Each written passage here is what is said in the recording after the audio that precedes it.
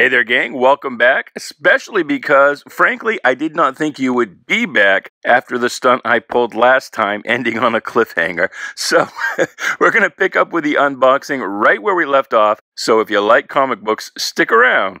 We're going to have some fun.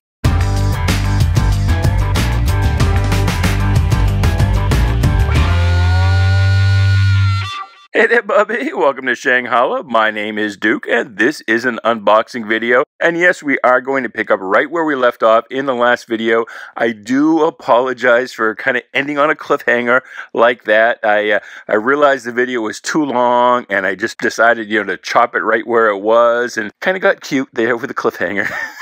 so, sorry about that. I'm just emulating comics. That's how comics do it, right? So uh, anyway, please do like, share, subscribe, comment away, do all the groovy things, and let's go, Brandon. No, no, no.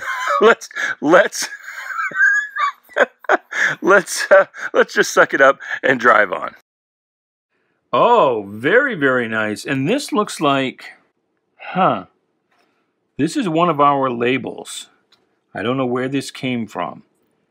Maybe this was for sale in the store, and we took it out because it had been on the shelf for too long? I don't know. Famous Funnies is the first regular ongoing monthly comic book. Well, I can't say the first. There was a, a book in the uh, 20s from Dell Publications that didn't last that long, but it was a, a regular publication. But this is this is the first ongoing series in the format that we recognize today as a comic book. What issue number is this? It's usually right up here. And it is. It's Oh, well, it's on the label anyway, number 36. So that's an early issue. This um, this is probably 34, 35. Uh, this this would predate Action Comics number one. This is quite nice and not in bad condition, really. We've got a one-inch spine split up here at the top, but otherwise, and about a half inch down at the bottom, but otherwise the spine is pretty nice, and the edges are nice and tight. the gay, the gay 30s. Uh, well, back when gay meant something different. That's okay. But this uh, this book reprinted uh, comic strips of the day, and uh, Joe Palooka, Dixie Dugan, Jane Arden, uh, Ned Brant. If if you are you know fairly young, you know 30s, 40s, you may never have even heard of any of those uh, characters. Maybe you've heard of Joe Palooka, you've heard the name but didn't know he was an actual comic strip. So let me know in the comments if you're actually familiar with any of those strips. You can actually read these books. There's a nice website called comicbookplus.com. They have the full run of Famous Funnies. You can read um, all of those issues online for free, except the Buck Rogers strip. The Buck Rogers is uh, still under copyright, and so those uh, those issues that are published online are missing those pages, usually between two and four pages per issue. But it's in here, I bet you. Here's something else nice. Street and Smith Publications, Doc Savage Comics, and Street and Smith did volume numbers. So volume 2, number 6 is probably whole number 18. But look at that, August 1943. Very nice. Huckleberry what is this? Something about Huckleberry Finn fighting Doc Savage. I don't know what that's all about. and I think this is also something that must have been in the uh, physical store that we've just decided to put on eBay because it was just in the store for too long. We like to rotate the stock in the store, and that's the kind of thing that your average DC Marvel fan uh, coming into the store wouldn't appreciate. But um, boy, those will do well on eBay. I bet both that the Doc Savage and the Famous Funnies. This does well anywhere. Jungle Action with the Black Panther, with Killmonger. Uh, this is Amazing Spider-Man 346. That's a nice Venom cover. 347. Something famous about this cover, and I can't remember what it is. And it's not just the take on Hamlet with the Alas Poor Yorick. Something in particular, apart from being a Venom cover. I'll have to look it up. Can't remember what it is. Captain America 341. That is the... Um, what's his name? You saw him come to life on the Falcon and Winter Soldier series just recently. What was his name? John Walker. That's it. Had to think for a second. X-Men number four, first appearance of Red Omega. Marvel Age. Why is this? Marvel Age was like a, a an in-house promo book for um, for Marvel. You had lots of articles and features on upcoming product, and uh, you know you had some comics features in here. It looks like it's reprinting an early Stan Lee Steve Ditko story with a character who looks very much like Peter Parker. Huh. Maybe that's what this... Oh, here it is. The first Marvel mutant story ever by Stan Lee and Steve Ditko from Amazing Adult Fantasy 14. Ah, that's why this is in here. Because normally Marvel Age books, kind of like the Eternals I spoke of uh, earlier, those go, you know, you pretty much sell them by the pound. in, in the Eternals, you know, until recently. But even now, Marvel Age, I mean, you can hardly give them away. But this one is uh, this one is something special, something neat. So you might want to look for that. Usually about a week after I do one of these videos, you'll find these uh, on eBay. Again, the seller name is Dotcom Comics. This, I am told, although I haven't verified it, uh, Ghost Rider 15 is purportedly the first glow-in-the-dark cover in comics. I don't know if that's 100% true. Like I said, I haven't verified it. A little bit of a foil cover here on Silver Surfer number 50. This is, somebody wanted me to know, and that's the boss's handwriting right there. Spider-Man number 4, a newsstand copy. And again, by this period, this would have been mid-90s or so, early 90s. The uh, newsstand accounted for about 10% of the sales, and they're both newsstands. There's number 5. And not only that, but the books that sold on the newsstands tended not to survive in high grade because they were bought by a different clientele uh, than the uh, folks who frequented the comic book stores. So those are all newsstand copies. We'll have to see how those do, but that should bring a multiple. Second appearance of Deadpool in X-Force number 2 doesn't actually do that well. That'll probably sell for less than 10 bucks. Number 11 with the first actual appearance of Domino. 15, uh, excuse me, 5, not 15, 5 of X Factor. That's the uh, first appearance in Cameo of Apocalypse. There's another one. And we've got the direct sales and the newsstand edition. And let's keep on trucking. Looks like the rest of this box is going to be fairly modern. Here's uh, Rhino and Cardiac and Amazing Spider-Man 344. That's a newsstand copy. Avengers West Coast 62. These have uh, taken off since the WandaVision episode. X-Men Annual number 14, the first appearance of Gambit, predates uh, Uncanny X-Men 266. There's another Mr. Sinister and another newsstand version. This is the first uh, Tim Drake in the Robin costume, Batman 457. X-Men 282, first appearance of Bishop. X-Factor 24, first appearance of Angel as Archangel. New Mutants Annual number two, first U.S. appearance of Psylocke, uh, Betty uh, Betsy Braddock. First appeared over in the Marvel UK books. She's the sister of Captain Britain. Uh, Incredible Hulk 377, first appearance of the Professor Hulk version of the Hulk. Here's X Factor 6. that is the first full appearance of Apocalypse. Here is the classic Days of Future Past story. Super double awesome iconic classic both in story and cover. And it's a newsstand edition. Very nice. Here's a Daredevil 168 right in the heart of the Frank Miller run. This one's got an unfortunate spine bend in it. Now that would press out probably well it's got a little bit of a spine roll as well. You might be able to press that out I, I'm hard pressed to try and sell it as a single I think that that probably should go in a multi-book lot because of that bend. But uh, I believe that's a nice uh, Paul Smith art inside as well as on the cover. Here's another uh, another X-Men with binary.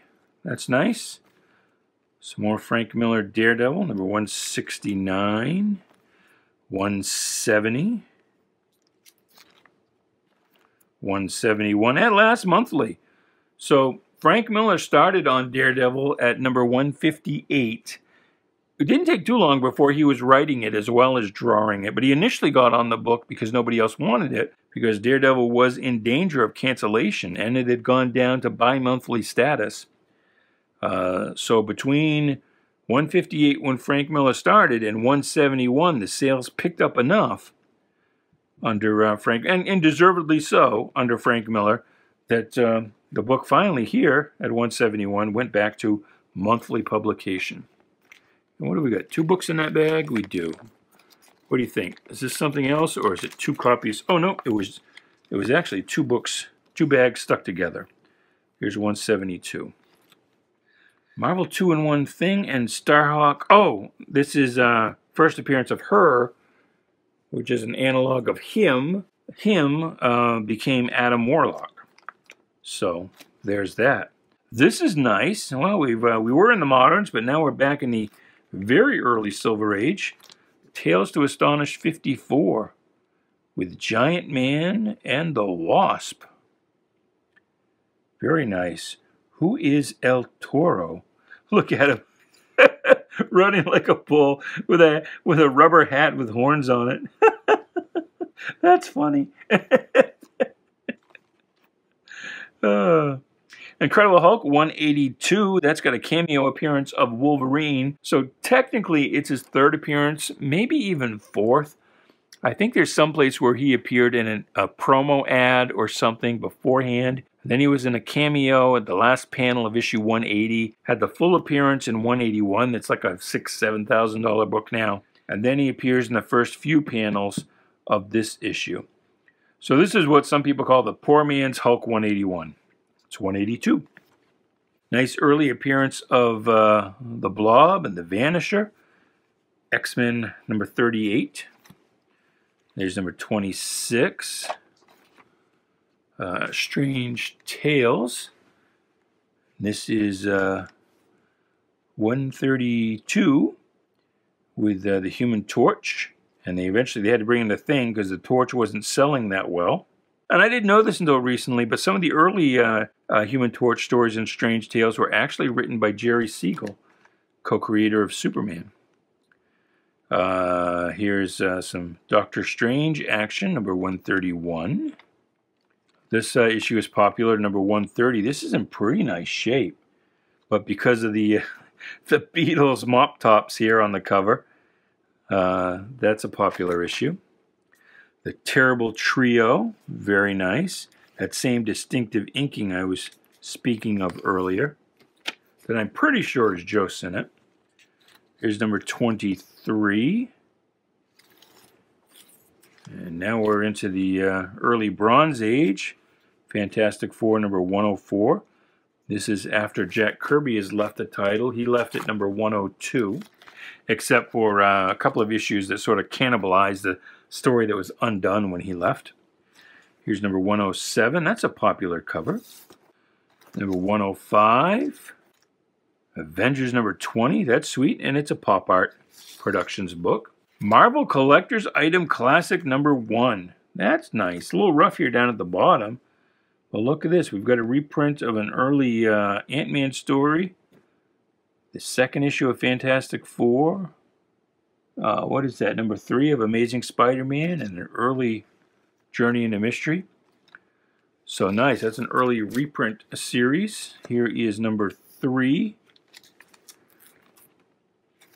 Avengers number 13, The Castle of Count Nefaria. Amazing Spider-Man Annual number 7. Number 91, that's a classic cover of Amazing Spider-Man. What else have we got here? There's another book hiding under there. That's the uh, Kraven the Hunter versus Spidey and Ka-Zar, or Ka-Zar. And looks like this is the last stack. That's it, boys and girls. That's that's what we've got in this box. There's another 282 of Uncanny X-Men with the first appearance of Bishop. World's Finest Comics, number 128. I'm just looking at this because it's a little unclear to me what is actually happening. And DC covers notoriously would have, uh, you know, a lot of word balloons really explaining the action. And I guess, I guess if I'm trusting what Robin is saying, because it sort of looks like Batman has crossed over with the elongated man and is shooting kryptonite beams out of his eyes and is making this building kind of fizzle and some kind of carbonated fuzz. But, uh, but according to Robin, I guess the fuzz is attacking him through the eyes and changing him. I don't know. That's weird. I, I want to read that story now just because I really can't figure out on that cover what's happening. Wonder Woman presents a Wonder Girl. Now, this this is tricky, and this this will give you some indication of why Wonder Girl ended up in the Teen Titans you had different editors there, and the editor who was uh, taking care of Brave and the Bold and had the Teen Titans decided to use Wonder Girl as a member of the team, not realizing that she was not a distinct character. The Wonder Girl stories are just stories of Wonder Woman when she was a girl, much like Superboy at this time. And uh, but if you if you go by the covers, and especially the covers where you would have through the magic of Amazonian science, a Wonder Girl and Wonder Woman teaming up, sometimes even with Wonder Tot. you might have be forgiven just from the covers of presuming she was a distinct character, but she was not. So that's why they had to create the whole Donna Troy persona, because again, they used the character not even knowing who the hell she was. uh, Spectacular Spider Man number one, Silver Surfer number nine. There is Superman number 240. Very nice. The Amazing New Adventures of Superman. Oh, cool. Rip Hunter Time Master number 18. Very nice. You always got to love a purple dinosaur cover. Sweet. And this is Our Army at War. Some early Sergeant Rock action. That's number 140. And then the uh, the last book in the box is the second appearance of Shang-Chi in Special Marvel Edition number 16. With the next issue, number 17, this would become Master of Kung Fu. But there you go. That's everything in that box. I hope you had fun. Flash, I'm sorry we didn't see anything starring you, really, but uh, thanks for being here. And thank you, folks, for being here. We will see you in the next video, and until then, goodbye, good luck, and please be good to each other.